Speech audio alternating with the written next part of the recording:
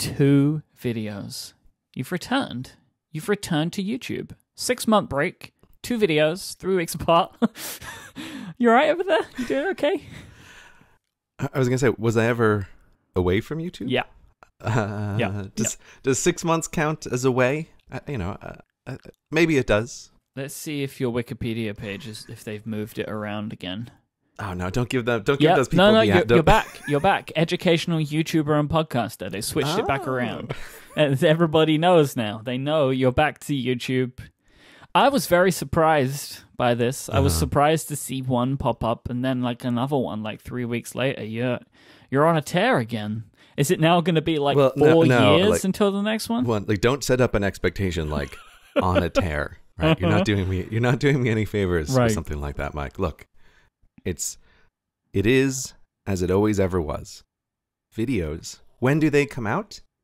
They come out when they come out. They're not late. They're not early.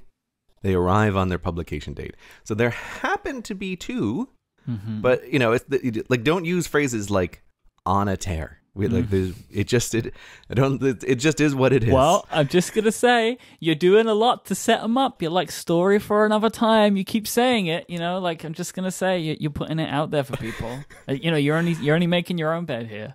no, I, I disagree. I disagree. Look, I was just I couldn't talk about the Indian reservations in the second one, and so I'm just I wanted to acknowledge that and then move right along. That's what story for another time is. Yep. Uh, you know, you just sometimes you have to reference a thing that people are going to ask about, and that maybe you think you're going to make a video about, but then when the video actually gets published, you're so exhausted with the topic that you, you never get around to it. Maybe that's what happens sometimes with a story for another time. It's like a it's like a release. it's like a release It's valve. the release valve. Don't look Yeah. over here. Look over there. Yeah, or it's like a get out of one video free card that you can play on the table with story. YouTube and. Monopoly.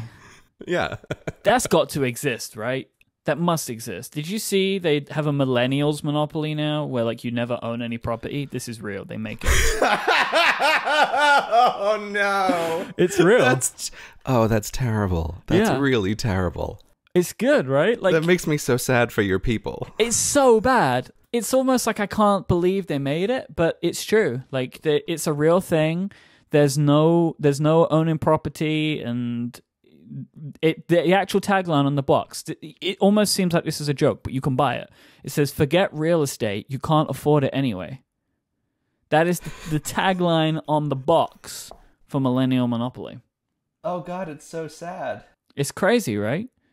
I'm trying to find the board. So, like, what happens when you what happens when you land on Park Place? I don't understand. You just you just pay money all the time. Is that how that works? You're paying rent Right. and it's a quicker game. So you what? You start with like a thousand dollars, and whoever runs out of I rent guess first so. is the first loser. They've does like the com- they've got exam- I'm looking at a Guardian article about it. They have community chest cards like your free web streaming trial expires. Pay the bank forty dollars, and th- th- instead of like, and it has like emoji icons and hashtags and stuff as the pieces instead of like top hats and whatever. oh, it's so sad. It is terrible, really. Oh, okay, oh, but like, I mean, some of this makes me angry, right? Because like one of these things is a week long meditation retreat.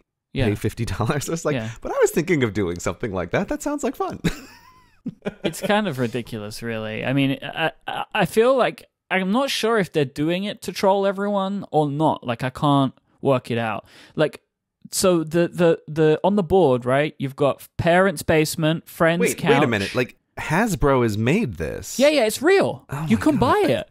Yeah, no, like I, I was thinking it was a parody or something, but no, no. it so looks like it though. But no, this is a legit, complete troll of people. this may be the saddest thing we've ever discussed on It's the show. terrible, This may right? be the saddest thing we've ever discussed on the show. It's terrible. I can't believe they made it, really. And like yeah, I don't know. I don't I don't get them. But anyway, so going back to your videos. no, I was uh, gonna say right. So wait, how do we get off on this? Oh, right, YouTuber monopoly. Yeah. surely that must exist. I I agree with you. Uh, I'm not quite sure how the mechanisms of that would work because you couldn't be scooping up YouTube channels, so you'd have to land on I don't know. No, each square is a different channel, and while you're there, you're collabing, Oh, perfect. right? So you have okay, like the I like CGP. Grey square, the MKBHD square, the iJustine square, and they're all worth different amounts. And it's Right. not money, right? Like it has their subscriber counts instead of money on the bottom. Right, and that also makes perfect sense because you could like the properties, you could group YouTubers together. Do a mod- like a big collab thing. Yeah, right? Or or like people who are in similar fields, Mhm. they're the equivalent of a property. So then when you, you what, like you get the the collab of three edutubers, and it's Mhm. like boom, now you can build hotels or whatever, whatever the equivalent is. I like it. Is that the phrase ed YouTuber? I've I've heard this phrase a lot recently. I I, I I've been traveling and I just came back from what could be described as an EduTube conference, uh, ThinkerCon down in Huntsville, Alabama, Yeah. run by my friend Destin. And uh, yeah, I heard the phrase EduTuber a bunch. Look, language sometimes it's, like it's I like hate the waves collab. of the ocean. Like that that makes my skin crawl. That that word collab.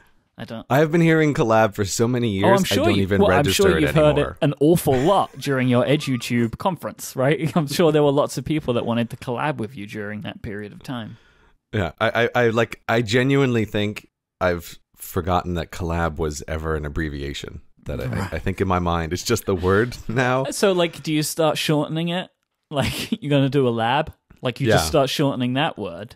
Yeah, that is what's that is what's going to happen. Yeah, you're going to do a lab with someone. but it's really nice to see uh, your videos. 'Cause I like that.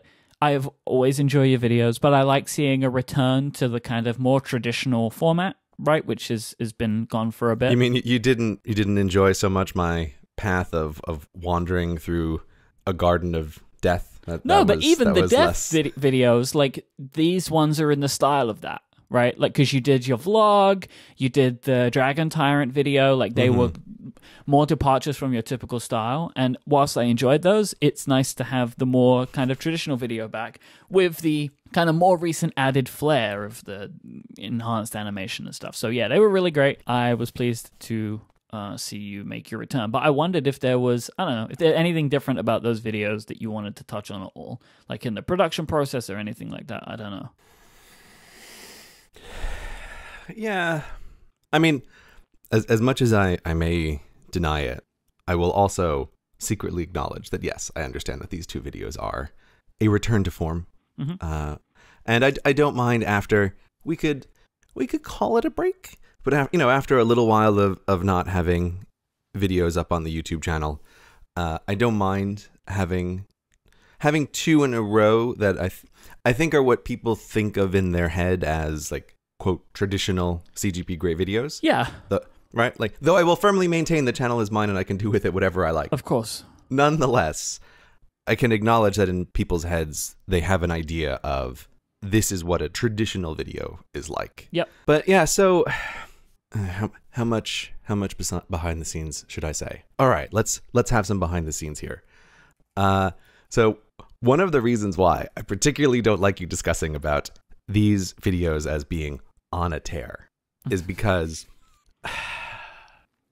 all right, I I don't really have any control over what videos are made. Just just to Uh, be clear. no, no, that's not. They don't grow, right? No, no, look, no, but let me let me let me elaborate. Right? you must have at least a little bit. Well, No, I, I, I genuinely don't think that I do. In in this sense, like I don't. I think I've written it somewhere. Somewhere on the internet, it exists as like the tagline for my channel of like I make videos that are interesting to me. Like this. This is the idea of the channel, Yeah. and humans cannot control what they are interested in.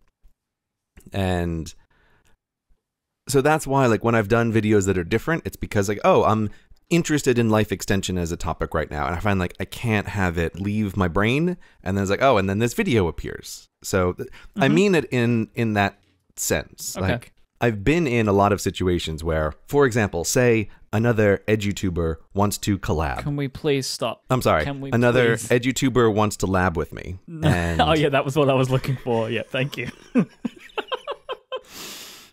and they'll suggest a topic of oh here's a thing that we could do but i i genuinely find it like impossible to create a video on a suggested topic if it doesn't grip me in some way. Right. because making these videos is is a little bit is a little bit of a crazy process. And, and so like i've i just i've been in that situation a bunch where it would be really advantageous if i could create a video on topic x. And i've tried and those always just fizzle fizzle out into like oh this is terrible. This is terrible and it's boring and it's not interesting and it's not fun and i just can't i just can't make it but so it's like i'm very glad that the videos that have gone up are a quote return to form but it really is mostly just that this topic gripped me uh, a couple months ago and I, and I like I could not I could not let it go and it all started around this idea of hey, the Statue of Liberty is a national monument. Like, what does that mean? What does it mean to say that it's a national monument? I know these things exist. I don't know anything about them. And I started researching them. And it's like, oh, down the rabbit hole we go, right? Like, it starts Right, to get right. very complicated. And at one point, I'm thinking, hey, I sort of remember in high school something coming up about New Jersey wanting to steal the Statue of Liberty. Like, what was the deal with that? And and looking into these things. And these two videos, in my mind, are were basically created at the same time, almost as one video. That's why there are two in such a close approximation to each other. Okay. Yeah, you were you were working on all this at the same time, but it was too much for one, so it kind of got split into two. Yeah, nobody wants a 20 minute long fast talking video like that. Like it would just be way too much. But yeah, so it, it ended up being this this like weird project that more than anything in a really long time dragged me down into the depths of research hell. Uh like I was at the point where it was very interesting, uh, but I was even doing things like listening to the oral arguments at the Supreme Court case in the 90s over Staten Island and Ellis Island and, and what was going to happen with those two.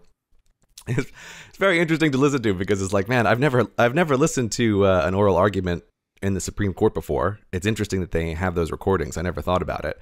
And it's also really interesting to hear that New York is clearly going to lose from like the first 2 minutes. like I don't know how the Supreme Court's supposed to work. I imagine that they are just neutral angels who just decide things in the in terms of righteousness, but it sure seemed like they had pre-decided that New York was going to lose and we're we're not very happy with that. But anyway, it was interesting like going through all of this stuff and ending up in the process of trying to figure out which which thing belongs in which video. And I know when people watch the finished videos it can seem like it's obvious that oh the Statue of Liberty is a separate story that doesn't really have anything to do with federal land and federal land is a completely separate story that doesn't really have anything to do with the Statue of Liberty.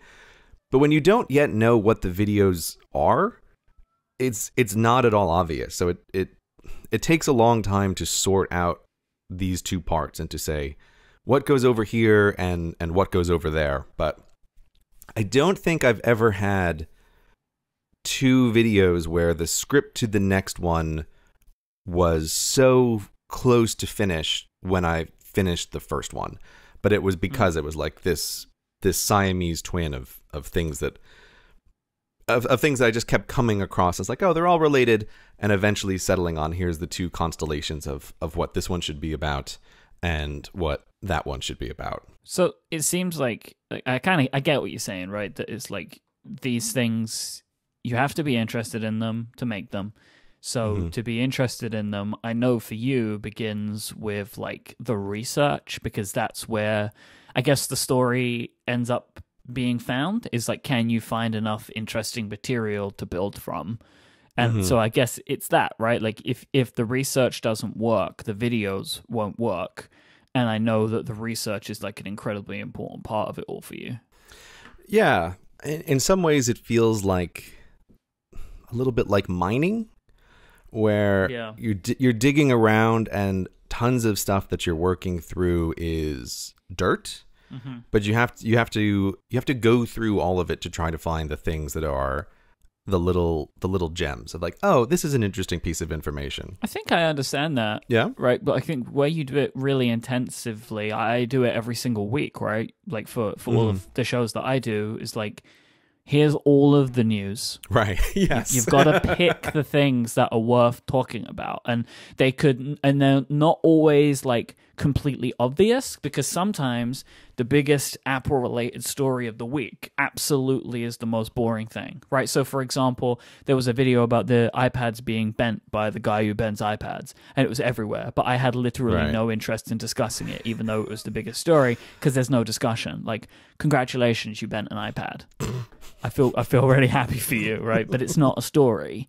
Um, but then you end up finding like, oh, there was this little thing that was kind of interesting, maybe is funny, and we'll talk about it instead. Yeah, you also have like I have this problem too, but you have it in much more of an intense way where when you're digging through the gigantic slush pile of the news, like I imagine you're also a little bit triangulating against what other people are going to talk about. Like Yes, that- exactly. that that thing of this story may be somewhat interesting, but by the time the discussion goes up, like it will have been talked to death Yep. and, and trying to be like, oh, it's not just like picking the story; it's like picking the story and then trying to find an angle which you hope is interesting and unique enough. hmm, I do not envy you for that. which I, I, I know I don't always hit that, but I always am trying for it, right? And and I think a lot of the time we're able to, and like it's the same with this show as well. Like, what can you find that's Mhm. interesting to talk about in a specific thing, and you just hope that you find it, right? But but it's all it's all down to research. Yeah, and it's it, it's interesting the way different people work on this stuff, and um, I don't know if I mentioned it before on the show, but uh, do you do you uh, do you know the YouTube channel Every Frame a Painting? Yes. So, did you ever read their quitting YouTube article that they wrote? No, I didn't know that was a thing. Yeah, so find find it for the show notes. They wrote this long article about why they were stopping the YouTube channel. Okay. uh, which made everybody sad because like they're they for listeners who don't know they they did what you've what you have I guarantee you've seen a million of on YouTube is these video essays about movies. Yep. And I think almost every one of the video essays about movies channels can directly point their lineage right back to every frame of painting, which I think solidified the genre and also is unparalleled. Like their their videos were so good and so interesting. And in their article about leaving YouTube, one of the things that I find very fascinating was they talked about their research process for doing this. And I would always I would aspire to this, although I could never possibly do it. One of their rules was no internet sources. So when they were researching videos, they wouldn't use the internet. Like they wouldn't they wouldn't type into Google to find out information about the movie they were making an essay on.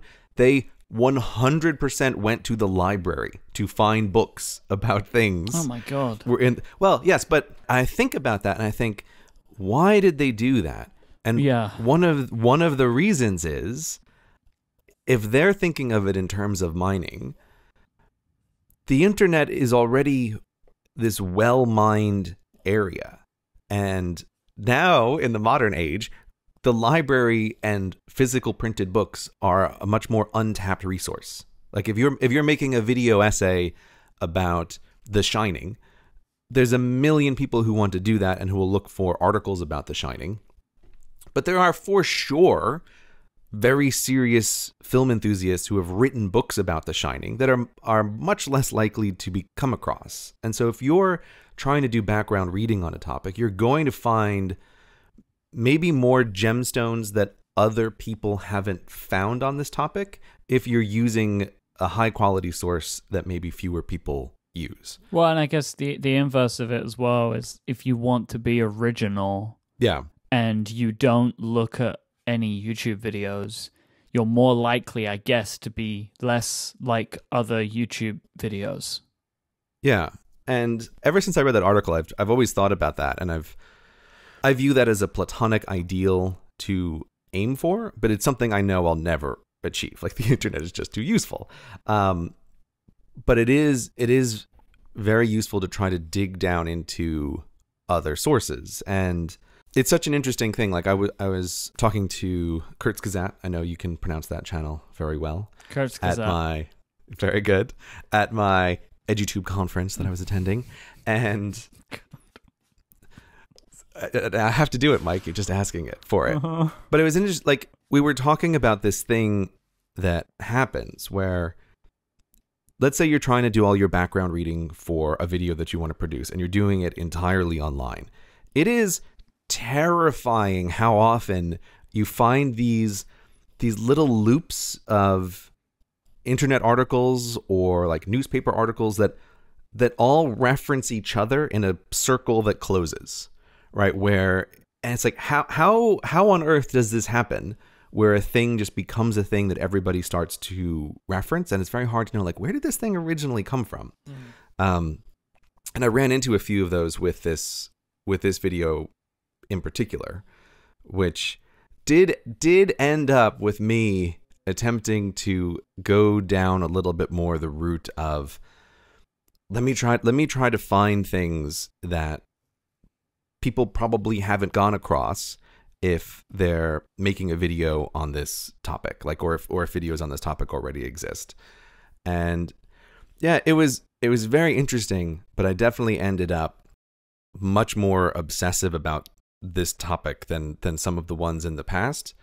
And it did end up with me actually going into a library and getting books like physical books and newspapers on this topic to do some of the background reading.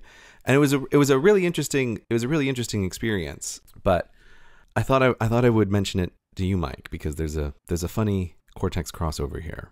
So you may remember two episodes ago i said something like oh i don't use my ipad anymore and it just lays on the table and I don't touch it. I don't think you said those exact words. I think that you wouldn't want to break my heart that way. I, I don't remember you saying that. It may have been what you were thinking, but it, they weren't the words you said. I'm sure of it. Yeah, they weren't exactly the words I said, but it was, you know, the, the gist of it. But so, literally two days after that episode went up, I like I fell off into the like I'm doing the deep, deep reading on this topic now, and some of the books I, I was trying to get a hold of, like no joke, books from the 1800s about the history of New York and New Jersey, trying to trace some things down. I had to get membership in a couple of special libraries to be able to get these books because like they just don't exist online. And the main research library that I was using had a no computers rule. The rule was you can come into the library and you can have pen and paper, but you can't you can't bring a computer because the typing sounds of a keyboard are too offensive in a serious My word. research library, which I can actually get behind. I Yeah. was uh, very annoyed and surprised when I showed up with my gigantic 15 inch MacBook Pro, like, hi, I want to look at some of your books. Uh, and, there's, and there's no, like, you will not be able to do that. Um, but so I found, I found a loophole. And what do you think that loophole was, Myke? Was, was it typing on a glass screen? Okay, so I asked them, and like, well, next time I come, I have an iPad. Can I use this? And they say, Will you be typing? And I go, Of course not. I won't be typing at all. There's no keyboard on this thing. In fact, it's just going to be on the screen a picture of a piece of paper that I will be writing on with a pencil. And the librarian paused. Pondered this fantastical technology. you know, the rule is paper and a pencil. I was like, well, this device is literally called a pencil, and I'm going to have a picture of a piece of paper. Like, how how close can I get? And it was deemed that bringing an iPad into the research library was perfectly acceptable.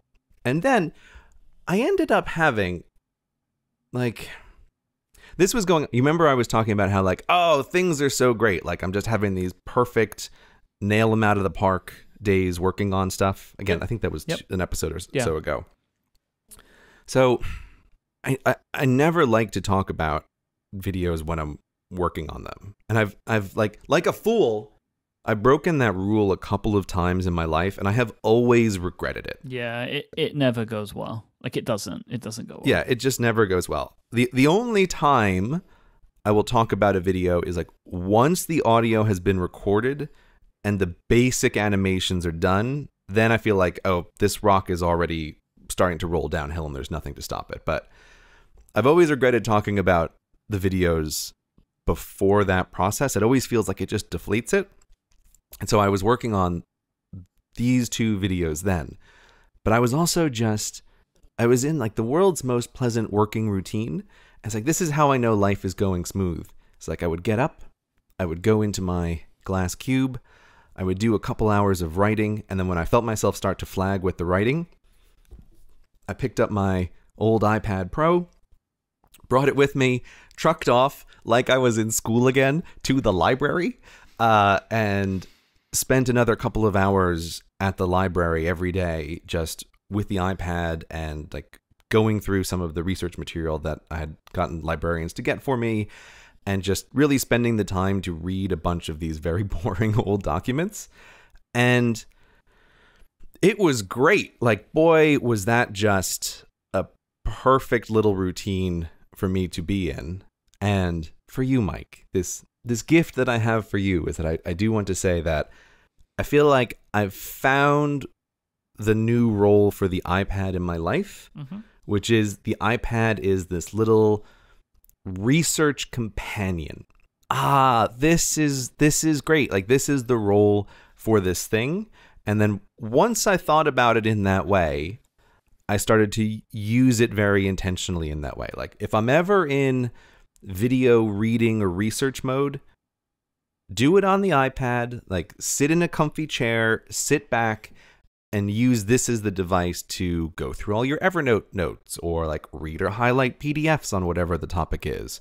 Uh, or like have this as the companion that you're using when you're reading an actual book and you're trying to you're trying to get in under the wires of a fussy library's rules.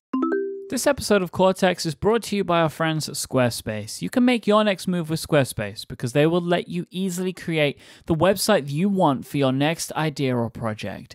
Squarespace give you all of the tools that you're going to need. They have 24/7 customer support if you need any help with anything.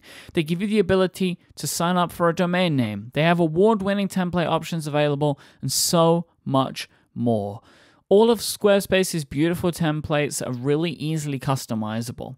You can change things just the way that you want. Everything's drag and drop. What you see is what you get. It is super, super easy and super simple to customize a Squarespace website, and it has all of the functionality available to you that you're going to need. No matter what type of website you want to make, Squarespace has the tools. They have blog functionality, they have portfolio functionality, they even let you add an online store if you want to. There is nothing to install or patch or upgrade to Squarespace. They take care of all of that stuff so you don't have to. I've used Squarespace for my own projects for probably 10 years now. There is nowhere else that I would go if I wanted to start a website today because it's super simple. I know how to use it and I don't have to get buried trying to understand a bunch of code beforehand. Squarespace plans start at just $12 a month, but you can start a trial today with no credit card required. Just go to squarespace.com slash cortex. Then when you sign up, use the offer code cortex. This will get you 10% off your first purchase of a website or domain and show your support for this show. Once again, that's squarespace.com slash cortex and the code cortex for 10% off your first purchase. Our thanks to Squarespace for their support of this show. Squarespace, make your next move, make your next website. It's interesting because it feels to me like you have reverted back to the stage that you were at before the iPad became your primary computer. Like this was the kind of stuff you were Yeah. doing before that it seems like you'd maybe kind of lost sight of. No, I I, I think that is 100% correct and I find it interesting that this is this is the cycle of like, oh, I liked it so much I turned it into the main computer. And I don't expect to really ever go back to it being the main computer as long as we have computers and iPads as they currently exist. But it is it is like a rediscovery of the role of this device in this specific way and also just yeah, it just takes advantage of all of of all of the power of it. Like being this is where like being able to use the pencil and like oh god and all these boring boring government report PDFs being able to like go through and Mhm. and highlight them in Evernote and just something about doing it with the pencil is very different. Are you still doing your like marking up of scripts Are you doing that with the iPad? Yeah, I'm still doing that. Okay. I'm still doing that. It really fe- feels like it's found its place again. Then, honestly, like, and this is the thing: it's like um, I consider I call my iPad my main computer just because I sit with it more, but it it also has its place for me, and its place for me is like communication and administration. Like, I Mm. think it's the perfect machine for that, and and that's where it fits for me. But I'm sitting right now in front of my iMac because that's where I feel most comfortable recording and editing shows right now. That's just that's how it works for me. But like it, mm-hmm. it is a device that's definitely has a very very important place. Like one of the one of you know I have two very important uses for computers, and that fills mm-hmm. one of them. Like it has its place for me, and you know that's real work. What you're doing is real work. Real work is always brought up, but. You know, I, I don't think that you have to say that a device can completely replace another device for it to be real work or not. You're you're doing your real work on your iPad. Yeah, I'm, and I still love the idea of like this futuristic tablet as being the only thing that you need, and I think that's like that's the romance and that's the attraction of the iPad. But yeah, it's I'm just very pleased with it. Like, and, and I was having just a like a fantastic time where where everything in life seems to come together just right. It's like, oh, I'm really interested in this topic. I'm really on schedule with my routine of writing, and then I have this device that's doing exactly what I want it to do, being this friendly assistant that is helping me with this other area of, of my life. And it was like, ah, this is just this is just fantastic. And everything everything was firing on all cylinders. I will say this makes me very happy to hear. Well, I wanted to talk about it last time, and then well, when behind the scenes, everyone sometimes topics are intended to be talked about and we don't talk about them. And so I had put like iPad on the bullet points for last week, and you said you you Last said you wanted to skip it. Oh, sorry, sorry. Look, fu- future listeners won't know when this goes up, right? People working their Sure. Mm-hmm. way through the back catalog will have no idea. Last yesterday, right? Yesterday. Um, so I had put iPad on the on the list, and when we were recording, I can't remember why, but you decided like, oh, let's not let's not talk about it this week. I think we've talked about too much Apple stuff, so you said like, let's cut it. And I didn't want to say anything, but at the time, like my heart sunk because I thought, oh, Myke. I have like a little gift for you. I want to talk to you about how how I found this place for the iPad again. Let me say how it was written in our document. Grey gives the iPad its due. One particular use case that has been great recently. I was just like, that sounds boring. Like he's just going to tell me like, oh, it's the greatest tool to read Reddit on, but I don't read Reddit or something. You know, like it's just like it's not really going to give me what I want. Like if it would have said uh-huh. like Grey is going to make Myke happy again because he's using the iPad more, then I, that would have been bumped up to topic number one. Yeah, but I didn't want to spoil it, Myke. No, it's good, but I said that's why it's like. But now, you know, here we are. I will say something though, because this this might wrap it around to make it an even more fun episode for me.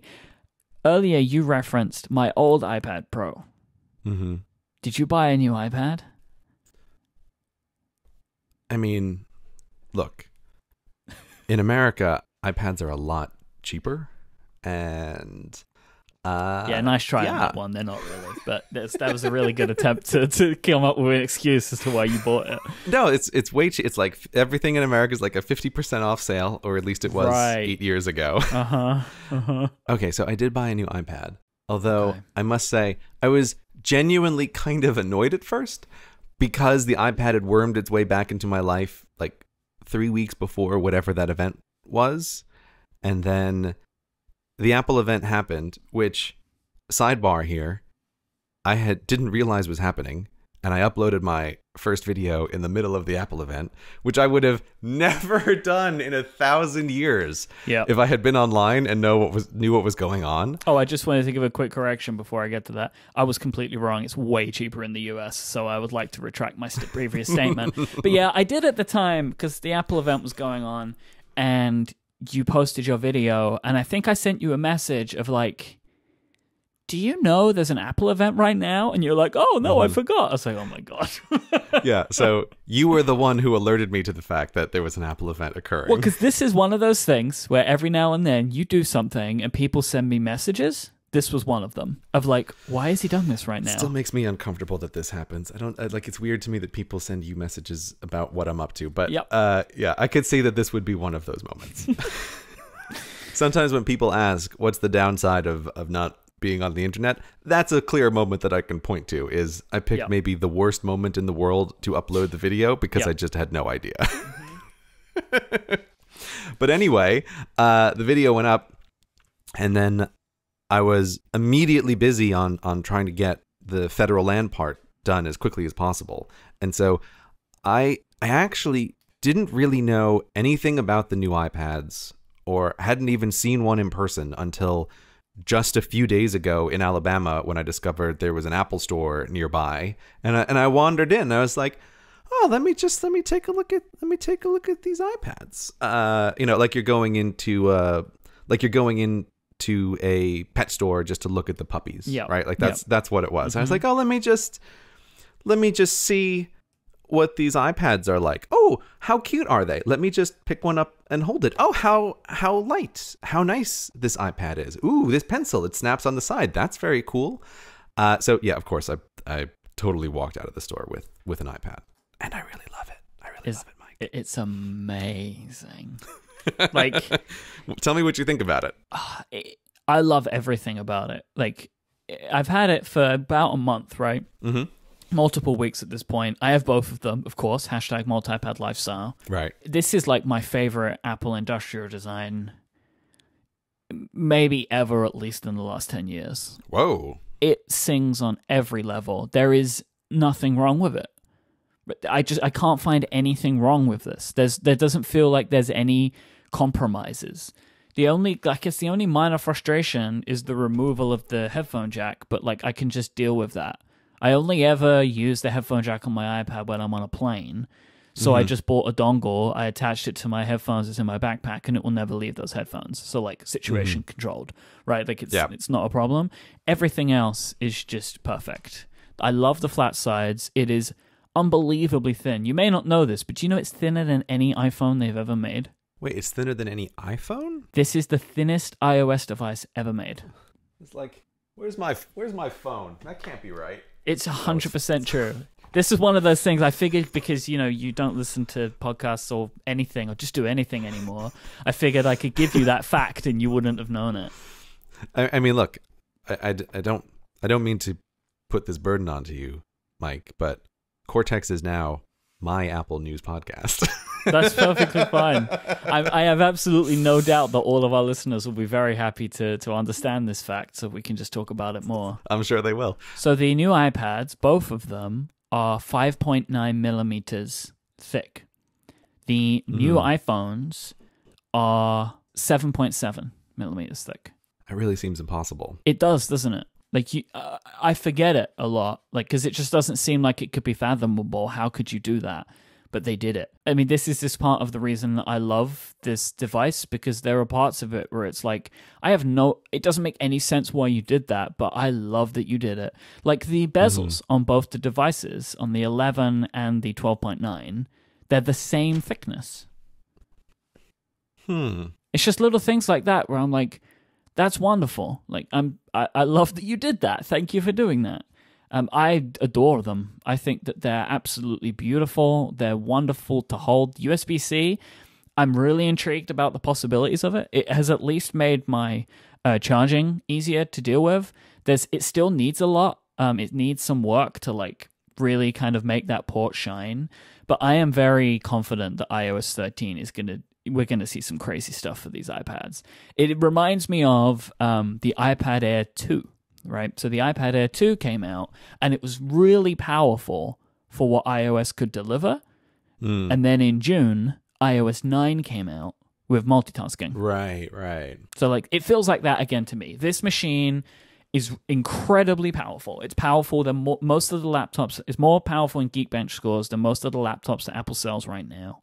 It has USB C, this incredible screen. Like I think it's a great time to to love the iPad right now and I am I feel blessed with the hardware that I've been given. Uh, Every part of it, every single part of this whole package is I find better.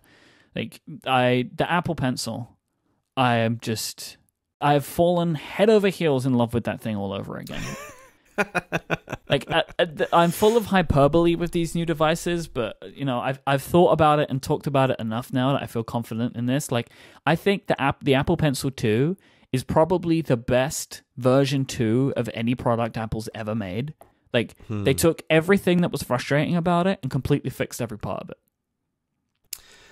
I, I just I also had this little moment where I, I realized, oh, of course, Myke has talked about this iPad on lots of shows already Mhm. over the last whatever it is three weeks that it's Mhm. been out, and somehow, I I like I think I think in my head I sort of thought if I don't listen to your shows, they don't happen, right? Yeah. Whereas like. I'm used to listening to you talk about the things on other shows, and then we then we talk about it. and It's like I'm aware of that. It's like, oh, of course, yeah. So you like you can be very confident in these statements. They are distilled now. yeah, like you've been through the internet winds of saying it, and then like buffeted by the comments and pushback, and like that's outrageously hyperbole, right? And you're like, no, no, I think it is true. Uh, so, so yeah, I, I I'm enjoying getting this this distilled version of your thoughts. Yeah, this is the triple filtered version of my thoughts. Right? It's this is these are the purest thoughts. Let me tell you why the Apple Pencil's so great now. Right? Okay. Uh, it's smaller and it's got a better weighting to it throughout, so it's better balanced. It makes it easier to Mm. hold. The magnetic storage and inductive charging is unbelievable. Like, Yeah. I cannot believe that they did this because it's so good. Like, it feels like Mhm. it's too good to have done it. yeah. So, going from sticking the lightning port into the bottom of the iPad, which, whilst inelegant, I still remain was the best thing they could have done with that technology. You know, like being able to charge the pencil with the device you're using it on was the best thing to do. S trying to stick it into a wall to charge it was a stupid idea, and that never would have worked. Like they did the best thing they could at the time, but being able to just pop it on the top of the iPad and it charges is incredible because it's always where you want it to be, which is stuck to the iPad. And because every mm-hmm. time it's stuck to it, it's charging, it's always charged. So I use my Apple Pencil more than ever now because it's so easy to get. You just reach up and grab it, and it's always ready to go. Like always, it's there, it's ready to go. It's where it's there when you need it, and that has made it a even more valuable tool for me. Yeah, it, it's gone from I always have to plug in the pencil, which I agree. I think people poo pooed that charging solution more than was deserved. Like, so here's the thing. you know- Here's the, here's the thing on this, and and I think a lot of the criticism, and look, I I think a lot of the criticism over the way the iPads function and work typically is by people that don't use them that much, so they don't get Mm. it right. But like if you used the Apple Pencil every day, like we did, you understand that whilst stupid and ugly and dangerous, you want to be able to charge it with the device Yeah. right? Like that was the best thing you could have done with what you had. It's now a million times better, but you think it's inelegant and you laugh at it. I think when you're not using it. Because if you're only Mm. ever charging it every once in a while, it does seem stupid because you lose the cap or whatever. But I prefer to have an Apple Pencil where I've lost the cap than to be on a plane and need to go and find my adapter so I can plug it into the back of the airplane seat to charge it. Hmm. You know? Yeah, I think you might be right about that. Um, I- I mean, it, I do love this inductive charging so much better because Mhm.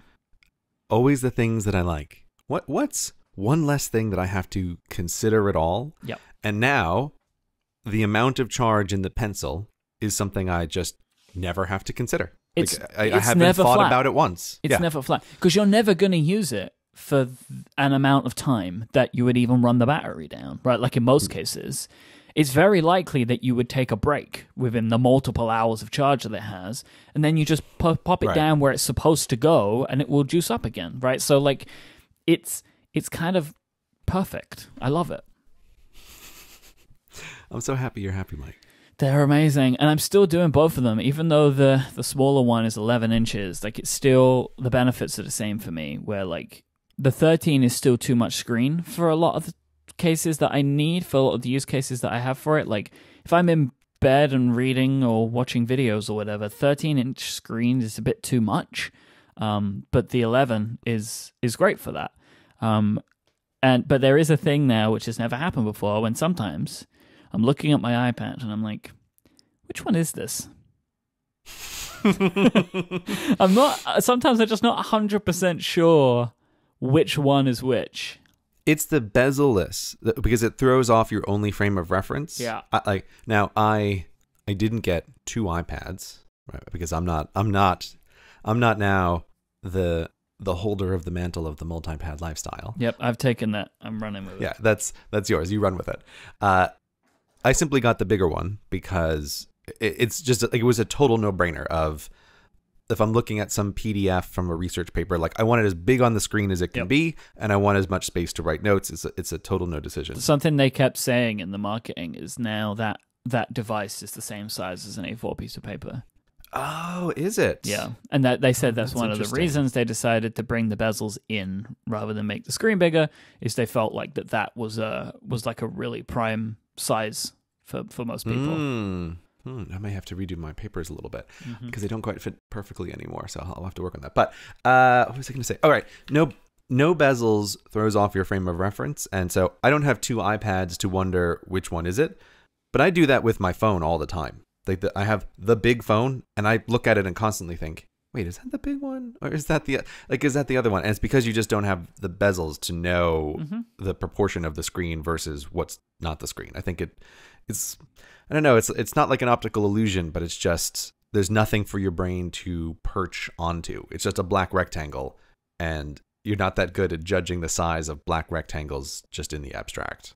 Face ID is so much better on the iPad than any other device. I love it.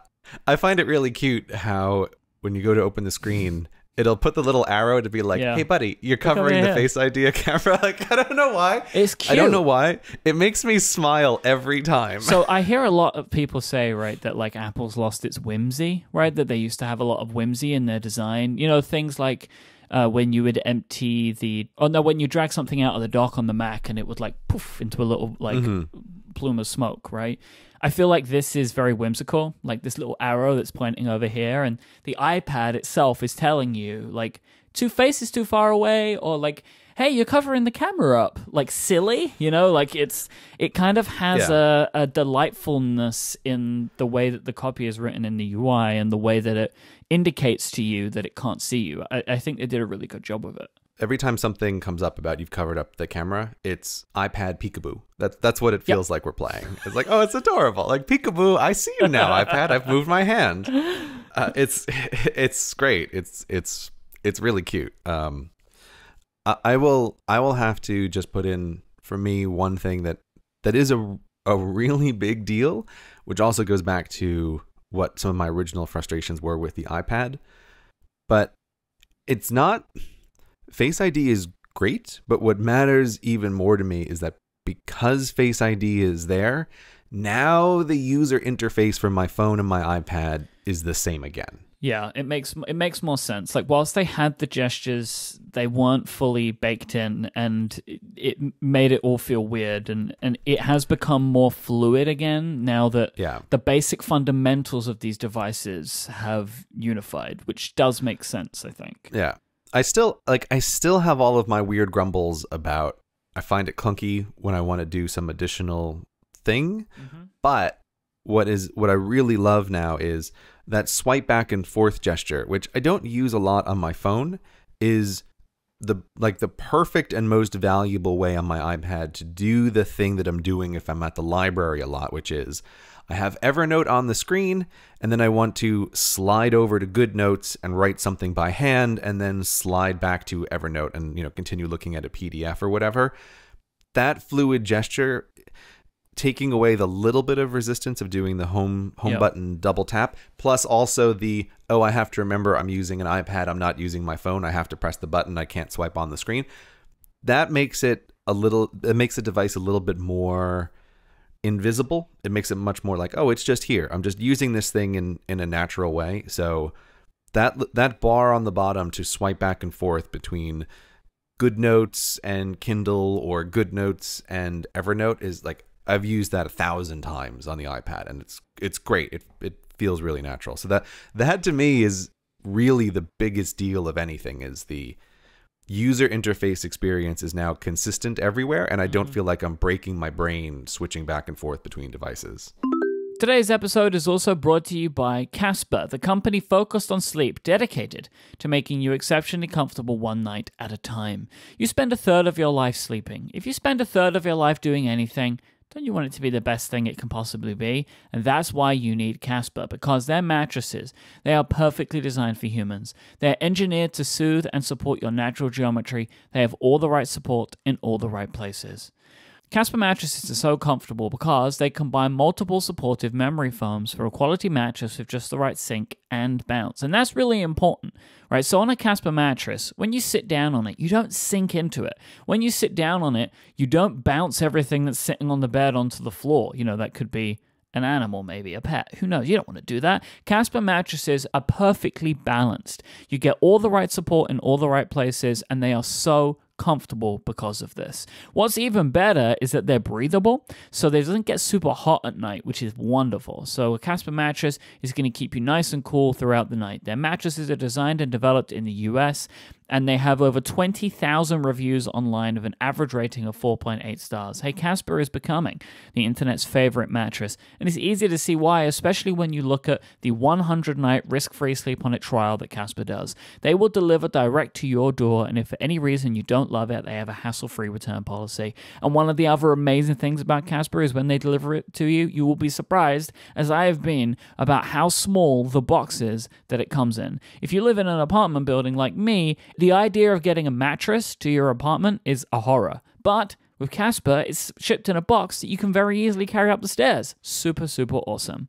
And now is the perfect time to give Casper a try yourself or to gift Casper to somebody that you care about. If you're looking for a great Cyber Monday deal or a Black Friday savings, go to casper.com slash savings right now to get 10% off your order with any Casper mattress for a limited time only. Now, this offer expires November 27th, so hurry up and go get that mattress. Terms and conditions apply. That's casper.com slash savings to save 10% on your entire order with any Casper mattress for a limited time only. Terms and conditions apply. And once again, November 27th is when this offer expires. Our thanks to Casper for their support of this show and Relay FM.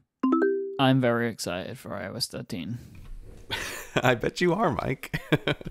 this USB C port, what what is it there for? USB C is interesting. It's not right now the most interesting thing to me. Like I just think that you know, we've spoken about this a bunch in the past. Like if you're all in on a company, you know, like like we are with Apple devices, like these are the devices that we've chosen to use. This is the ecosystem that we're a part of.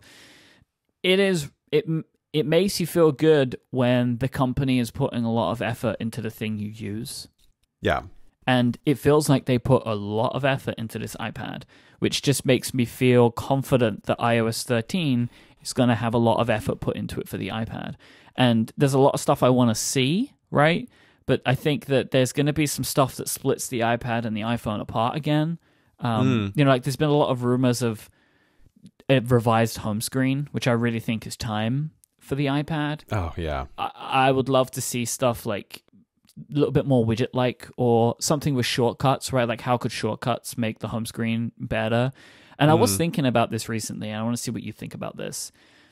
On the Mac, you have Launchpad, right? Which is a way for you to bring up your applications from the dock, right? So you Mhm. press a little button, it shows you your apps. I don't I don't understand why I, the iPad doesn't just have that and you don't put apps on the home screen anymore. Launchpad to me seems like trying to make the Mac into what the iPad currently is. What do you what do you want to be Well, different? I don't I don't I don't want the home screen to just be grids of app icons anymore. Right, yeah, yeah. Okay, I agree with you Right? So I feel like you could use the iPad's dock and just hit a little button and it brings up all of your apps and you can just choose them that way. Oh, okay. I see. I, you want a launchpad button on, the, iPad. dock on the iPad. right Yeah. to make the ipad look like it currently does and then you can do something else more interesting with the screen yes i, I totally agree Like Yeah, you could put documents there if you wanted to. You could put shortcuts. You could put widgets. You could put Yeah. all kinds of interesting pieces of information. So yeah the home screen becomes like a command center, and then you're only ever opening apps from the dock. I think there there is a problem with that. A lot of people don't un, like can't get their head around like why does the dock exist if the home screen exists, and like how do I do multitasking? Yep. If do I have to go back to the home screen all the time? It's like everyone that uses the iPad a lot, most of their multitasking is is action from the dock, Mhm. They just swipe up the dock, and all the apps that they use in multitasking are there. And the real iPad Power users have a folder of little utilities, right, that keep getting brought Yep. up. And I think that there is a disconnect between why the dock would exist and why the desktop exists because Mac users don't put app icons very frequently on their desktop, right? yeah. So like why are they mixed together on the iPad? And I think that a revision to the iPad's home screen will probably bring it closer to the Mac and further away from the iPhone, but I think that's the right thing to do for now. Yeah, um, they should they should do something. In my ideal world, the the home screen, the background could be built to be something like the Windows Phone background. Like here's a bunch of tiles that show me things that's useful to me or buttons Yeah, I can press. yeah. Like it doesn't need to be this grid of icons. Like it's literally a decade ago when we Yeah. first thought of this. Like we can we can do more now. Look at any Android phone, right? It is possible to put useful pieces of information just there, right? Yeah. Like, I don't want to have to swipe to the left to get to Spotlight anymore. Like, Spotlight should just be on the home screen, Mm. right? So I could just tap it and search for something if I want to. Like, I, I'm I'm keen to see what a kind of starting place for a computer could be in 2019 if you think it through again. Like, what does Mhm. that end up being? And again, it's just like, what is the workflow team for? Like, why did they get them? Why did they want to do shortcuts? Like, I feel like this makes more sense. I've been spending time thinking a little bit about home screens in general and putting them around actions, you know, like we've been talking about recently. I've been like Mhm. thinking about that. Like, what does that mean? And that's just something that I've had rolling around in my head at the moment. So I am very excited for iOS 13 because I love my iPad Pro so much. They're really, really wonderful. I'm so happy for you, Myke. I'm glad you're happy with your new iPad. I'm happy for you. Welcome back. Welcome back. I'm happy for me too. CortexMerch.com. CortexMerch.com. We have two uh, limited edition products going on right now. One of them, very excited about this Cortexmas pins. Tis the season of Cortexmas, and we are currently selling, we have a limited edition run of glow in the dark Cortexmas tree pins. They are wonderful, and you can get those now at cortexmerch.com. It's glow in the dark so that you can always know that it is Cortexmas all the time. Exactly. Cortexmas should extend for as long as possible, and so you need to be able to see the Cortex pin as long as possible. the sun will never set on Cortexmas. That's That, that's what I want. Yes.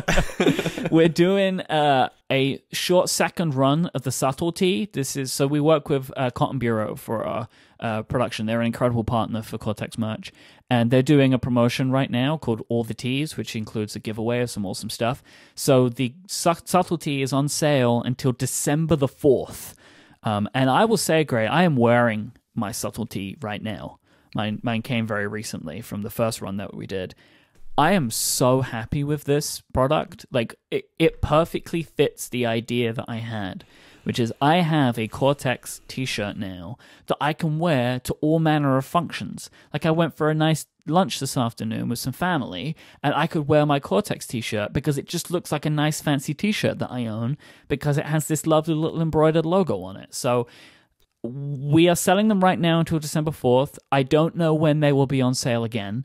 Um, I will say, of all the merch that we have done, this is my favorite item now. So I think it is in your best interest if you are interested to go and get one, um, as they're on sale for just a short period of time.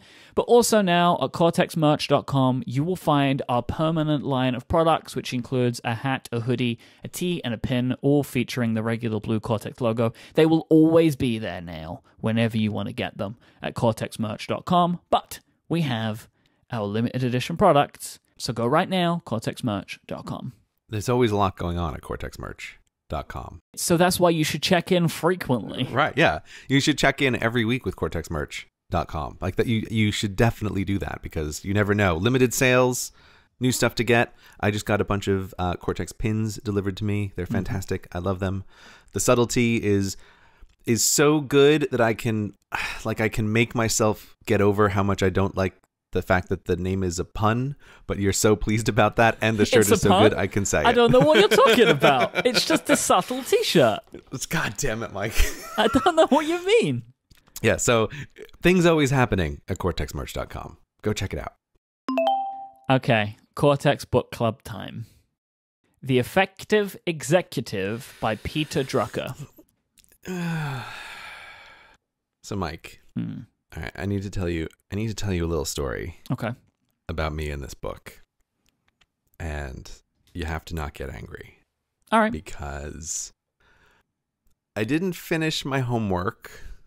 Uh, but but there's more. There's more to it than that because.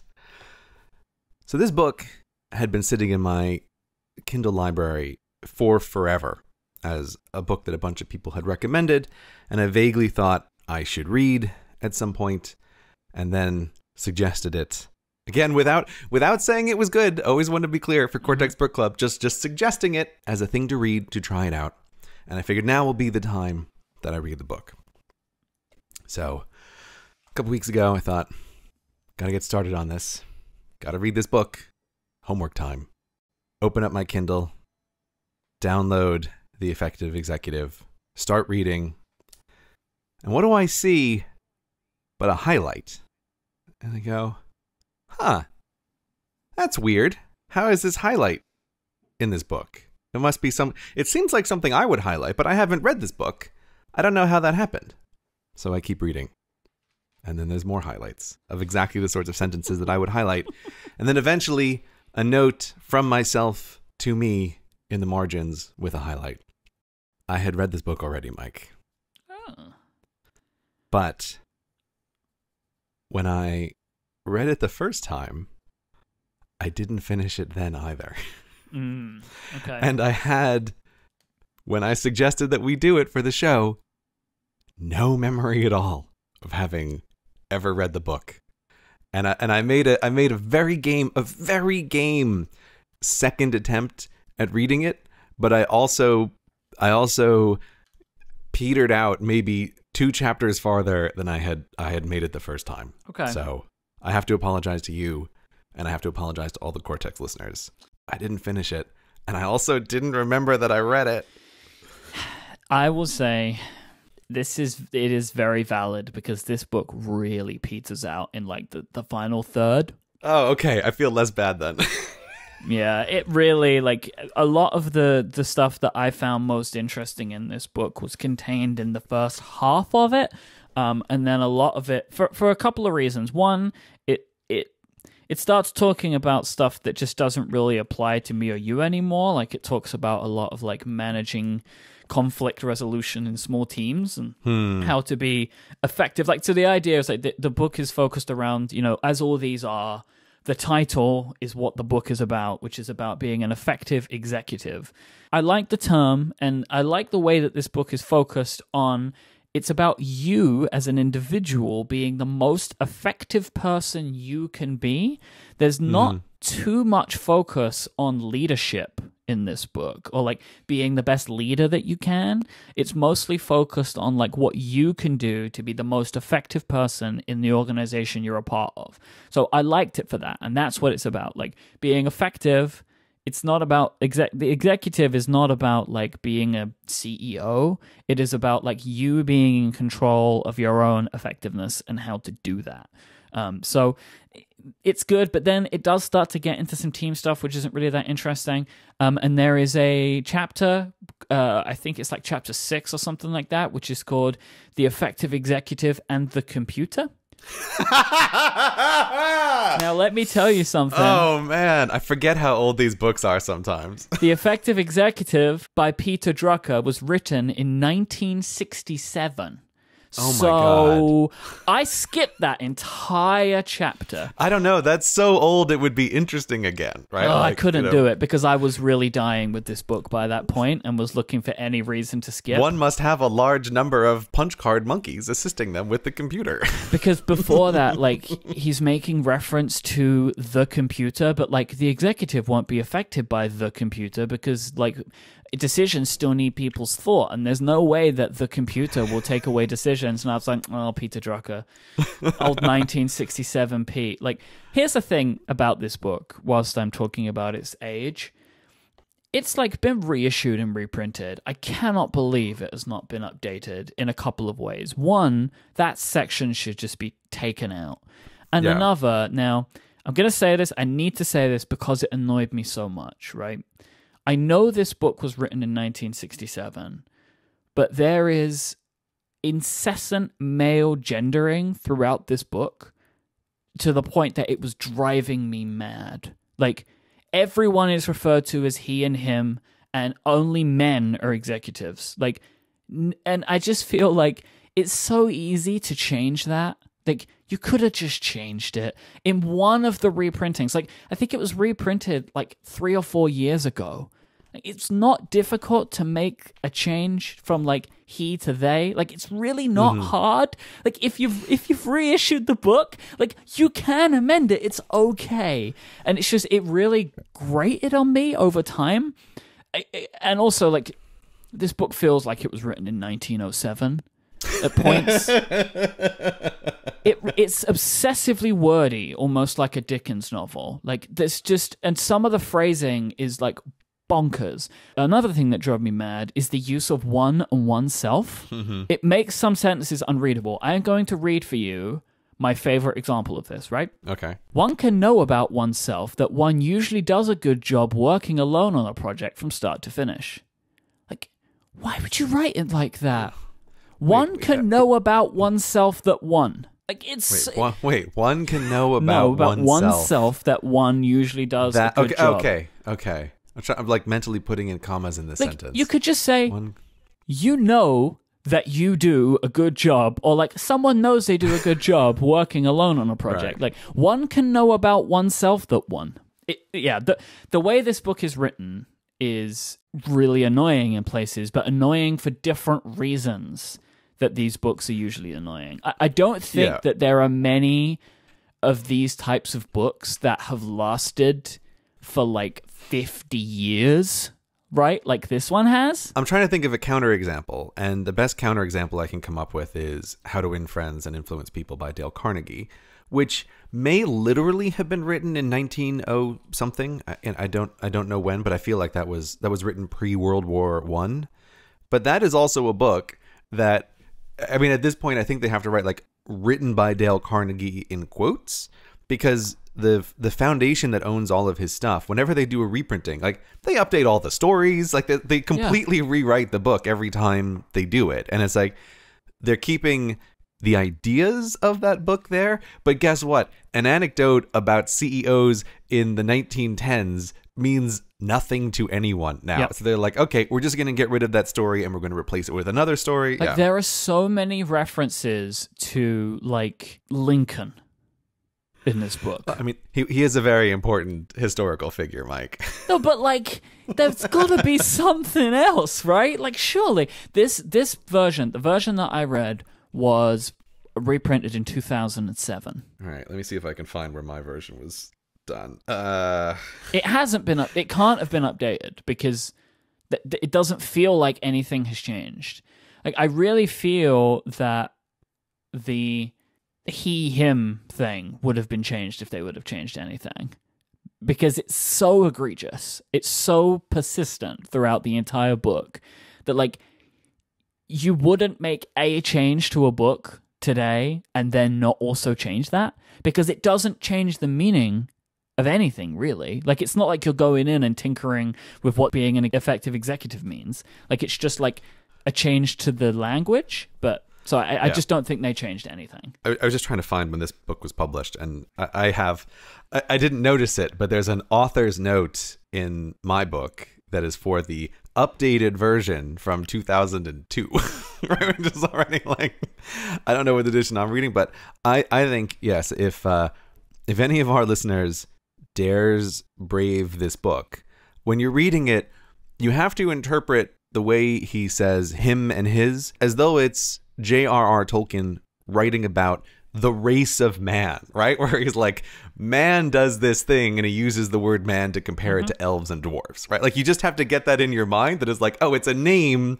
for the whole race. Because other, otherwise, yeah, it's uh, like, it's crazy. I didn't realize how old this book was, but I was Yeah. very aware of thinking of it like in capital letters every time of like, okay, well then then we can sort of deal with this. But yeah, maybe it maybe a little bit of updating of the section Han. The executive and his mainframe computer that exists in the basement, like you could probably take that out. It's probably not very relevant. So there aren't a lot of typical. Actually, there are none. None of those like sickening fake stories. They don't yeah. exist in this book, which I actually found quite refreshing. Like the examples that he uses are of named individuals hmm from real companies, and I found that refreshing.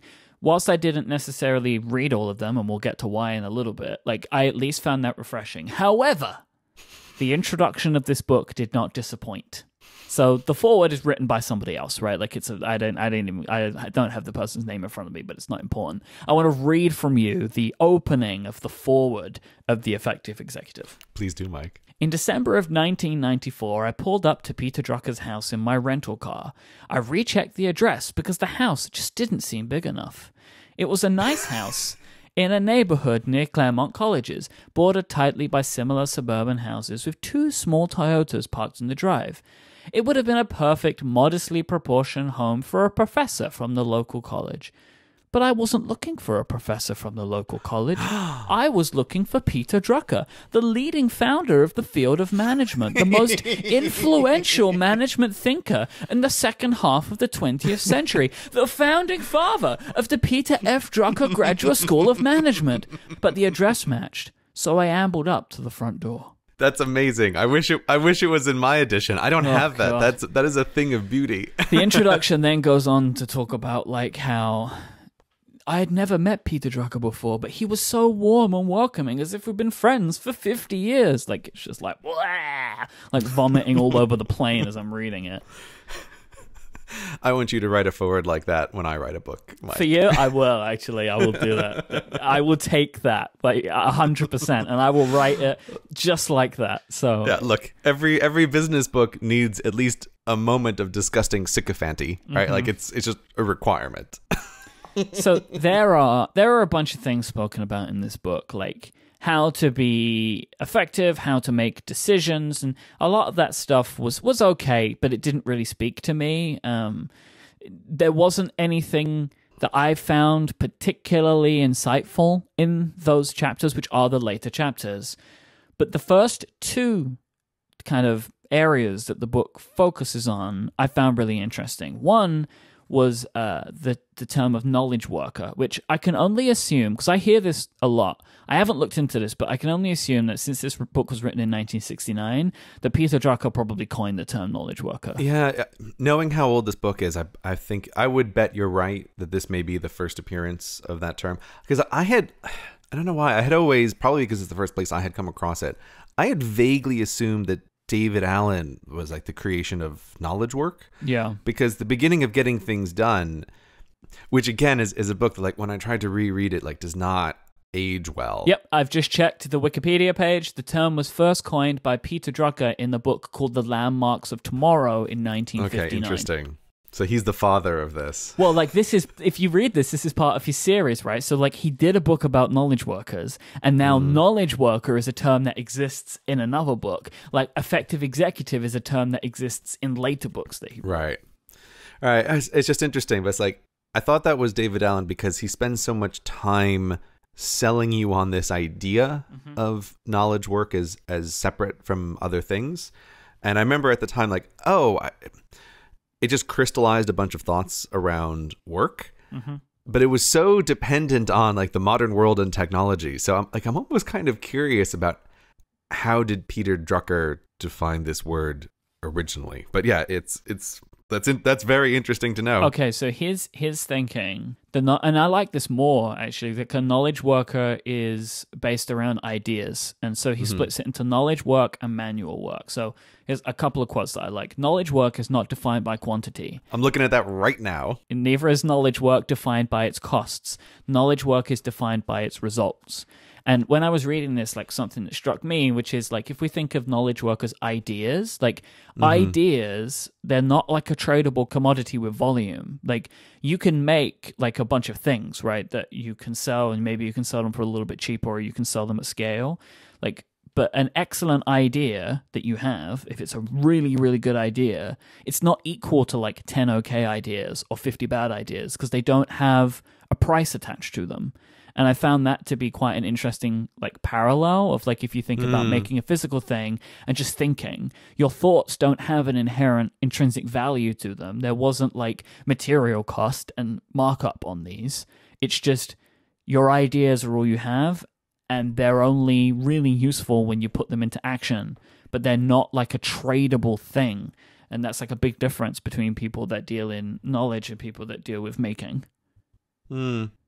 Yeah, like I, I highlighted that section too, and it's it struck me as well because it it is the same thing of particularly like knowledge work is not defined by its costs, which I also in, interpreted that like you're not looking at cost per unit of idea. That there are there are some ways in which knowledge work can have tremendous costs, but then also outsized results in a way that physical Yep. products simply never could. So it doesn't always make sense to think about cost cutting measures in relation to knowledge work in the same way that it does make sense in terms of physical products. Like you have to think about cost cutting measures in that way. Yeah, so there's a part like later on where they're talking about like decisions, like in relating to this stuff, where it's kind of a case of because you can't. He he says like cost cutting is is pointless. Like when you're doing cost cutting measures, you end up cutting things that there's kind of no point in cutting because there's such minuscule savings. But if you're a cost cutter, you've made effect. You've been effective by cutting that cost, even though there was no point doing it. But I Mhm. like something that he says, which is something that I know that me and you both share as a thought anyway, which is like, if you are making a decision, you ask yourself, like, if I stop doing this thing, is it going to affect anything? Mm-hmm. And if it won't, then you just stop doing it. Or like another question of like, if knowing everything we know today, someone asked us to do this thing again, would we do it? And if we wouldn't do it, we stop doing that thing Right. right and this is like part of that i like it leads into part of that idea i i also like a thing about when you talk about knowledge workers is typically somebody who's coming up with ideas is not actually the person that actually does anything with it so you give your idea to somebody else who then goes out and does it Mm. So like it's no, a lot of the time, and this isn't always, you know, like because I know that people that are solo or like independent like us, we will typically put a lot of our stuff into production ourselves. But especially if we're working in a company, like if your job is to make decisions and come up with ideas, you probably communicate those to somebody else who then makes an output with them. That the knowledge worker is not always tied to the output. Yeah. Like I, I like that stuff. I, I'm trying to think about like I'm looking through a bunch of my notes from this book and it, it's interesting because there are a bunch of parts that I I do really like. And so like, let me let me take the one that I think is is the best of of this book. I wonder what it's gonna be. Uh, well, I, I think it's I think it's not going to be what you think it is. Okay, You- okay. Okay. I'm going to try to. I'm going to guess. You're going to guess it's time tracking. I am gonna guess that because it's my favorite part. yeah. So he talks about time tracking a lot. It's not actually. It's not actually that. The thing. Okay. The thing that I like the best in this book is, uh, and it's making me laugh now because it's a section where he references Lincoln. Uh, but it's chapter four. I think the start of chapter four is really great, and that chapter is called "Making Strength Productive." Hmm. and like this is like okay how, how do i want to how do i want to phrase this delicately this is not a good book like I, I i don't i can't really recommend it but i do think if you are just coming out of school, like you've just graduated high school or you've just graduated college, find a library and read the first few pages of chapter four in this book. Because the thing that I find so frustrating about school is it's this machine that produces the opposite of what we want in the real world. In school, you're always taught to focus more time on the thing that you're the worst at. And so it's like, oh, you've gotten an A in science and you've gotten a B in English, but you got a D in geography. So what what happens now? You're supposed to spend most of your time on geography and ignore the thing that you're actually good at. Mm-hmm. And it's like you spend two decades under this propaganda of you're supposed to be a well-rounded individual. Whereas the real world doesn't care at all about what you're bad at, right? The the real world only cares about what you're good at. And I can't like it's so personal for me because it's, it's like spelling. My whole life, like I failed spelling in school constantly, and everyone was like, "You got to spend more time on spelling." And guess what? Now that I'm an adult, it doesn't matter at all. Like it doesn't make any difference. Nobody cares that I can't spell. Like it's not a skill that holds me back. It just doesn't matter. And like I just I really like the way he focuses on a few things here. And he's focusing on it from both angles of like you need to find what you're really good at and double down on. And I also like that he really focuses on if you're in a position of working with other people, you should be able to overlook their flaws. You know, and it's like where he talks about Abraham Lincoln, but he's like, you know, Lincoln picked generals who were like men who had tremendous flaws, Yep. but they were good at winning battles. And like he doesn't care that like Ulysses S. Grant was like a total monster and a drunk. Like he's good at winning battles. And you shouldn't expect that everybody you work with is this well-rounded person who's good at everything. And I just like I think that's a really fundamental point that is very easy to overlook, especially when you're coming right out of education, because the, the whole school system has taught you the opposite. And in the real world, double down on what you're good at and don't spend a lot of time on what you're bad at if it doesn't really affect you. But you like the time tracking part, did you, Myke? Yeah, I mean, I did like that strengths part because it, it was very it's very useful, right? Like the idea of if you're in a good organization, you can hopefully find it. But like especially especially if you're working on anything for yourself, creatively or otherwise, like understanding what you're good at, doing that, and then trying to work with other people who can help complement the skills that you're not so good at is an incredibly valuable thing to learn. Mm. But I would say, I really would say, it, I agree with Grey. Read that part, but I really think reading the beginning and I think the whole chapter on time tracking is very useful. Um, I think that it does, in some places, a better job of explaining why than we have been able to explain over the course of the show. There are sometimes things that are interesting when you read books like this is that it can help communicate an idea that you already know, but like it can solidify it for you. Mm-hmm. And there are like a bunch of just like really excellent quotes about why time tracking is important. And again, it's like to think that you know, whilst this book is it's long-winded and it can be a bit frustrating in places, Drucker really knew what he was talking about. Like he was coming up with a bunch of this stuff in '69, right? Like he mm-hmm. he kind of he really got it, right? Like he there was some stuff that he totally understood and he made it, you know, he kind of made it work all the way back then, right? Like things that we're still doing today. So there's a couple of things that I like, right? He says the executive's time tends to belong to everybody else. I can I can see why you you in particular, Myke. Yeah. I can see why you would like that quote. and I love it. Right, like there is, and like it kind of leads on. Like the fundamental problem is the reality around the executive. Unless he changes it by deliberate action, the flow of events will determine that he is concerned with and what he does. So, like, I find this stuff to be very true for people that are self-employed or people that you know maybe head up a small team or, or anything. Like your time is a lot of the time and it pulled in such in so many different ways that you actually don't get to control it because people require things from you and they require your time so you don't really get to control it they control it and it, funnily enough, I like talks a lot about the fact that meetings are mostly just time wasting. Um, and Mhm. and I like that again, 1969, but yeah, still happens more and more and more.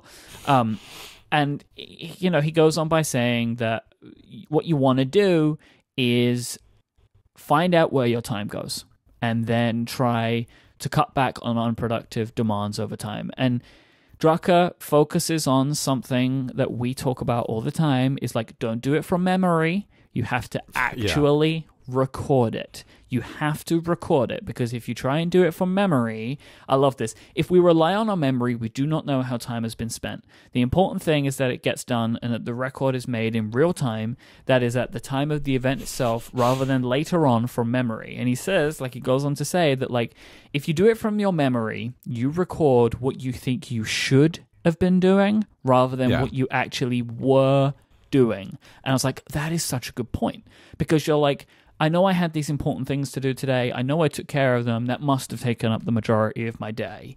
Well, that's probably not true, but your brain weights these things because on what it thinks is important as opposed to where you actually put your time. Mm. No, it, it really is an excellent point, and and we've we've mentioned this on the previous book club episodes, but this this phenomenon I, I think of as crystallization. That Yep. You you bring to a book the solution of thoughts that's in your head, and then you read someone express an idea, and your thoughts can crystallize around that idea. But you get out of books what you bring to them, and it's why when you're reading something, lots of sentences don't resonate at all, and then you feel like, oh, this sentence has crystallized what I've been, like you said before, like stuff that's been rolling around in your head.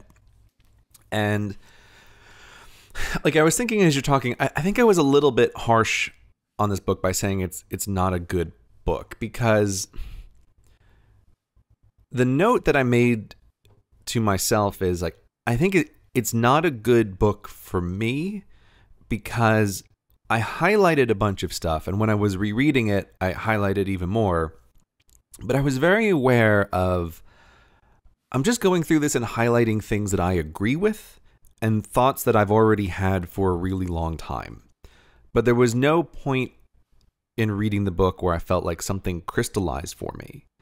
But it's because I've been thinking about this stuff for a long time and reading these and and now as you have revealed like this is also a foundational book that has appeared in many others.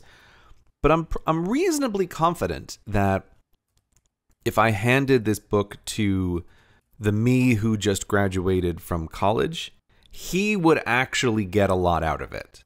That it would help sharpen and crystallize a bunch of his thoughts mm-hmm. on these topics sooner than it would otherwise have happened. And so, yeah, I guess like maybe the more familiar you are with this stuff, the less good this book is, and the less familiar you are with it, the more potential it it has for you to say like, "Oh, that's a great way to put this." Because yeah, like as you as you pointed out at the beginning, it also predates a lot of the business book tropes.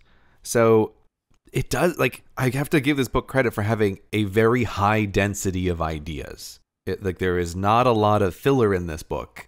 It's him much more talking about like time tracking, doing the best, managing your time. Meetings are a waste of, waste of time.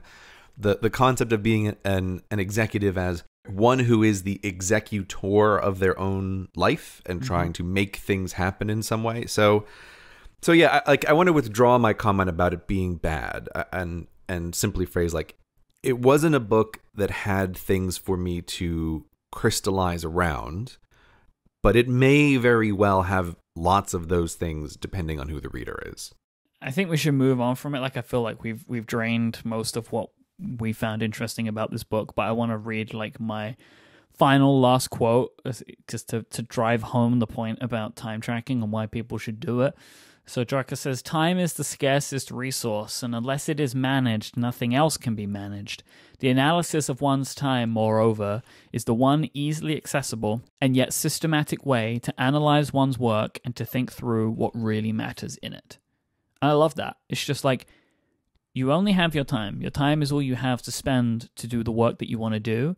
If you're not controlling your time, if you're not trying to look at your time in a clever way or in a smart way, or with any kind of like thought into where it's going, you won't be enabling yourself to be able to get done what you want to get done because your time is like leaking away in just I don't know, being on phone calls or whatever. So I just thought it was a very good way of of continuing to like drive home this point of time tracking being important.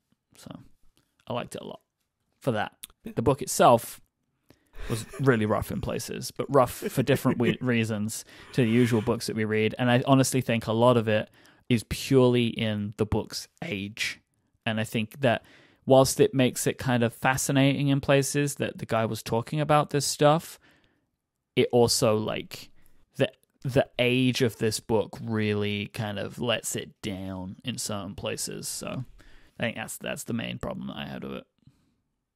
Yeah. So as I close this book virtually, uh, don't don't let it tap two blue mana and cast forget on me again. If I ever like suggest that we do the effective executive at some point in the future. Like if I if I suggest it again, you have to remember, Myke, that we've that we've already that we've already read it. Well, I will remember because there was something quite unique about this book. The Effective Executive is the first book I have actually read in probably like 10 years. You mean you mean like red red? Read with my eyes, not with my ears. Read with your eyes. and how did you read it with your eyes, Myke? on a Kindle. Today's episode is brought to you by Hover. Building your online identity has never been more important than it is today. And with Hover, you can find the domain name that shows everyone what you're most passionate about. Like the fact that I am passionate about cortexmerch.com, I got the domain on Hover. I wanted to go and get a domain that was easy to register, that wasn't going to make me click through a thousand screens, right? When I want to get a domain name, Hover's where I go to. It's the place that helps you tell the story that you're looking to tell about your website. Hover has over 400 domain extensions that you can choose from to help you brand the site that you want the way you want. But it's more than just getting a website. Maybe you want a great email address. This is what domain names can also give you. There are tons of choices to help you find the perfect domain name. And it's not all about .com or .net anymore. Sometimes there are domain extensions that can perfectly tell the story of what you want to show the world. Like for example, if you're a designer or another type of creative person, you can use the .design domain. And what's awesome about that is not only are you showing everyone exactly what you do because it says .design, but there's also going to be way more options available to you than there is with .coms. Like lots of regular words, lots of names, they're still going to be available with .design at the end. So this is a great thing to look at and it's a great thing to check out. And you're in safe hands as well. Hover offer best in class customer support. They are there for you when you need it. Stand out and build your online identity with the perfect domain name for you or your business. New customers can get 10% off any of the over 400 domain extensions offered by going to hover.com slash cortex. That's hover.com slash cortex to get 10% off your first purchase. Our thanks to Hover for their support of this show and all of Relay FM. How was this experience? it was good and bad. There there is good and bad to it. To the point Okay. that I'm not really sure what I should do about these books going forward. Okay, so we, like I just want to back up for a second for the Yeah. listeners. So Myke doesn't doesn't read books with his eyes. Myke reads books with his ears. And can can you give a, a summary about why that is the case? Why you read books with your ears and not with your eyes? Like how would you describe the reason for that? Um I think that like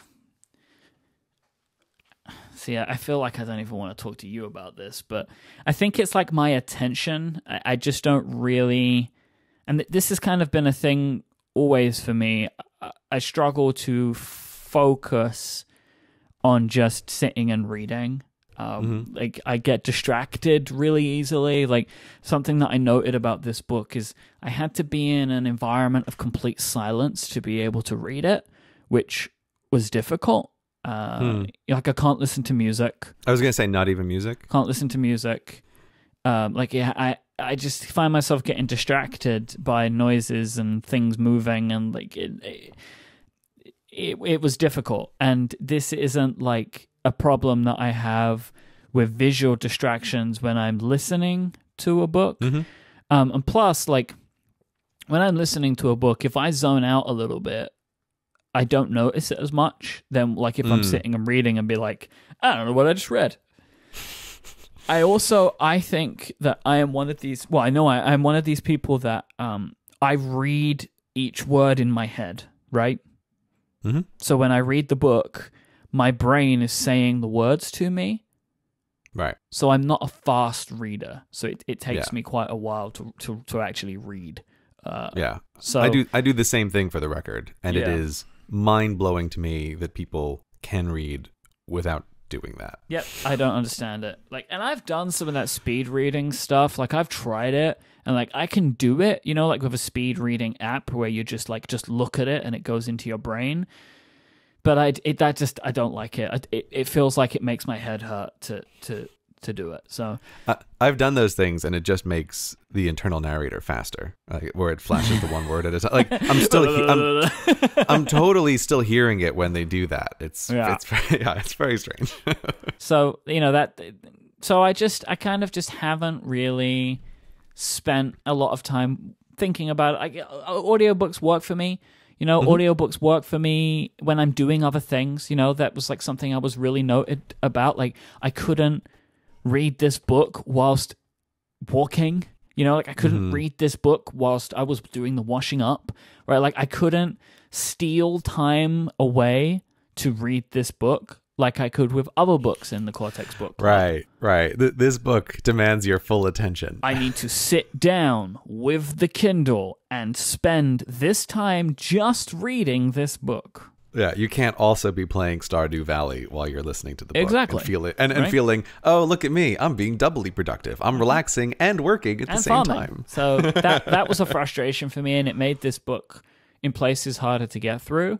But Mm-hmm. there are things that I was able to do with this book that I can't do with the audiobook, and that is skimming. Mm-hmm. So when he's rattling on about the Bell Labs guy, I'm just like I'm just like skimming through it because, as is usual with these books, there is a thing that you'll note, right? If you read the first two paragraphs of a section and the last two paragraphs of the section, as long as you understood the first two, you'll understand the last two. Mm-hmm. Because they make their point, they have a huge example, and then they they conclude the point. A lot of the time, not always, but a lot of the time, I don't need to have it explained to me in depth because I got what he was trying to say. There were times when I did need more and I would read it. But if he set up a, a thing, like, oh, I understand this. Like, I don't need a historical example. Like, because I, I mm-hmm. get what you're talking about. So that's good because when I'm listening to the books, I have to listen to those things. But it did make me think, right? Is some of the best stuff about the Cortex Book Club the frustration? Because if that makes this segment more interesting to listen to, then maybe I should be forcing myself to have to listen to it. Now, this No, uh, book doesn't have a lot of that, right? So Right. maybe it's not the best test case, but it was something I was aware of because, like, I would not have continued to read like the examples of the uh what what book the uh E-Myth was it the E-Myth guy who was like living on an island of his family on a moped Yeah, Was that was that Email guy? Revisited. Yeah, all right, I wouldn't have read that, right? I'd be like, I hate this, go away, and just like skipped over it. So I don't know, like maybe I would have had some really hilarious anecdotes of what it was like for the guy talking about reading a computer in 1969, but I couldn't bring myself to spend the time to read it. So Mm-hmm. that is like a good thing, maybe for me, but I don't know if it's a good thing for when we are talking about those books. Yeah, uh, yeah. I mean, how much is it the value people get from listening to us talk about the books versus how much people think it's hilarious to hear people suffer? And other human suffering is hilarious. Uh, like, so I, I understand that. And I don't understand how, you know, I, I read these books, and to me, the thought of listening to them without the ability to skim is intolerable. Like I just don't know how you could possibly how you could possibly do it. So it's like to, to me you have finally experienced the way that is the only way a human can survive these books, which is to skim and to skim a lot when you feel like, ah, okay, author, I see what you're doing. Like you're going into your story. Let me just boop, boop, boop down three paragraphs, and now, Yep. okay, we're back. We're back to talking about the actual, the actual thing. So like that that was a big that that was a big help for me when getting through this book. But like I, I'm undecided right now. Like, what is the best route forward? Right. Like, I feel like I would want to do it when whenever our next one is. I would want to try and read it again and like see see what I think is the best thing to ultimately do. So, so you you would give you would give then reading a, a like a physical in quotes like a physical book a, a shot again. Like, well, look, it, here's the thing, right? Mm-hmm. So the read time on the Kindle version was three and a half hours, is what it quoted me, right? Okay. The audiobook is ten hours. Oh, oh God! I didn't read the whole book. Uh huh but it probably took me about three hours, right? Because I'm not a fast enough reader, I don't think. But so it took me a third of the time to to get this book done. Right, but there was no Stardew Valley time overlaid on those. So this hours. is what I haven't decided, right? Like now, I was able to skip a lot of the stuff I didn't want to read, and that was great. But I don't, I haven't worked out like the trade offs for me yet. As you know, I, I liked the system of highlighting and noting, because mm-hmm. I didn't have to write out a separate note like I usually do. Mm-hmm. Right, and that was that. The system on the Kindle was very good for that, and then I could just bring them all up on uh, a computer, and then just like copy and paste into our show notes the bits that I wanted. It let me triage it. It was it worked pretty well for that. Um, I liked that. The reading on the Kindle was was was fine. I I got the the Oasis, maybe. Was it the one with the battery pack in the cover, it or is it the? I didn't get the cover, but it, I can okay. have a cover, right? Like, but it's that got that weird hump on it. Right? It has three little pins on the back of it yeah. to connect to the battery cover. Okay, yeah, yeah I know it that has one. the weird hump and it's like a square, right? Which mm-hmm. is it's all very strange. And it wasn't as comfortable as I wanted. So I got that one because it had a light on it. It had a mm-hmm. backlight, mm-hmm. and I, I wanted a backlight. Um, but like, whilst it's super small and super light, it's still not light enough. Like, I feel like I wanted it to be a little bit lighter so I could mm. really easily and comfortably just like hold it in one hand. There's this weird thing that like whilst a paperback book is heavier, its thickness makes it like easier to hold. Like there's like a balance to it. Where this thing is so thin, but yet it's not light enough and the weight is misbalanced because of the strange hump.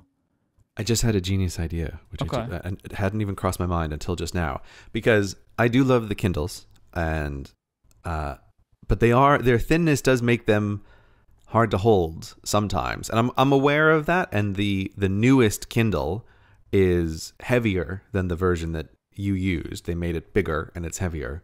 But I just realized, Myke, pop socket on the Kindle.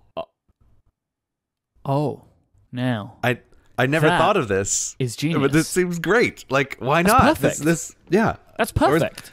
I'm gonna get. I'm oh, gonna damn. grab my Kindle right now. And, I like, have put an a pop extra socket pop socket. right on the I'm gonna of stick it. it straight on there. That is genius. genius. Oh, by the way, pop sockets.